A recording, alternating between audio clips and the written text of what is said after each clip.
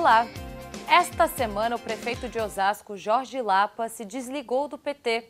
Segundo Lapas, a decisão aconteceu após perder espaço no partido para os interesses de João Paulo Cunha, que é o ex-presidente da Câmara e que foi condenado pelo mensalão, mas perdoado pelo Supremo Tribunal Federal. Cunha e outros membros do PT querem emplacar outro candidato à prefeitura nas eleições municipais. Mas, de acordo com outros petistas, a saída de Jorge Lapas do PT já vinha sendo estudada há um ano. Em Barueri, o cenário político também está agitado. Durante a sessão ordinária essa semana, o vereador Saulo Góes, pré-candidato a prefeito pelo PSOL, alegou que as mudanças de partidos estão acontecendo por conta de acordos financeiros entre grupos e legendas.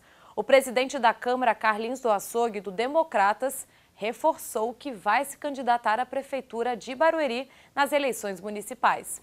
Nós fizemos uma questão de fazer primeiro uma pesquisa, todos os vereadores respeitando o direito de todos serem o candidato a prefeito.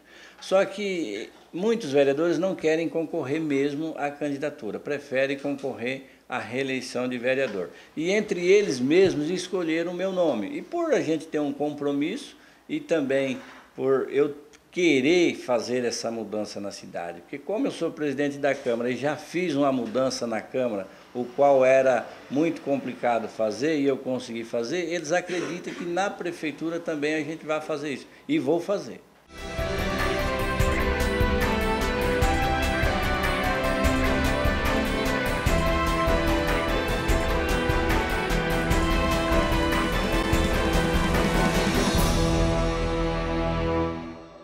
A segurança em Alphaville é um dos temas que mais preocupam os moradores. E com razão.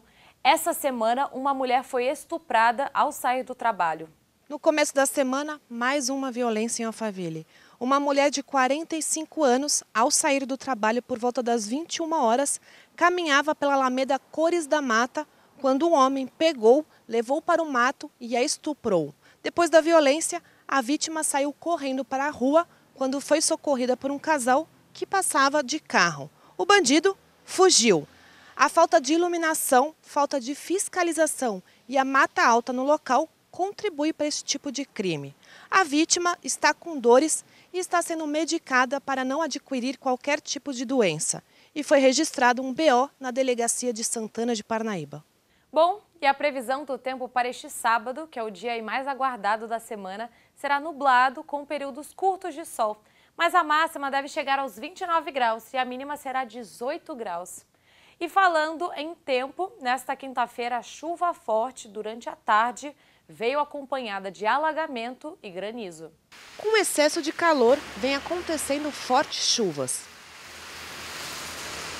Na tarde desta quinta-feira, um temporal com granizo trouxe alguns problemas para a região. Para se ter uma ideia, chegou a alagar algumas alamedas do Residencial 10. Moradores nos encaminharam fotos e vídeos da situação da chuva.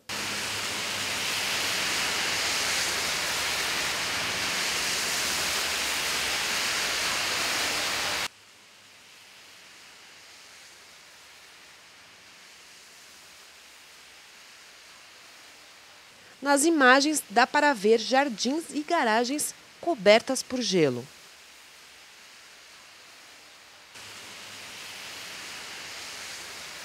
Alguns motoristas tiveram que parar os carros na Avenida Yojiro Takaoka devido à chuva.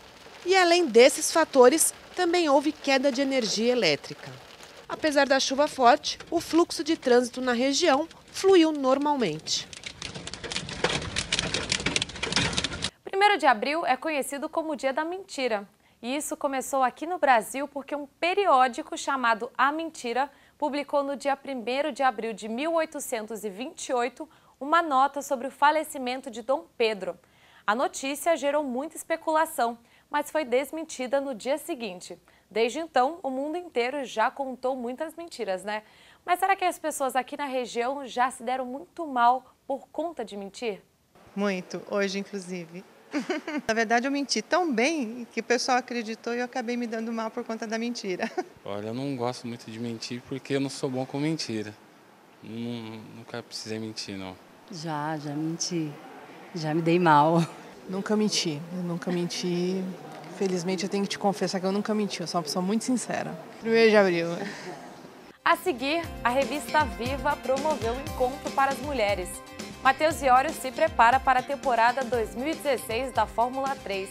E a agenda cultural tem muitas dicas para você aproveitar o seu final de semana. Essas e outras informações já já, não sai daí.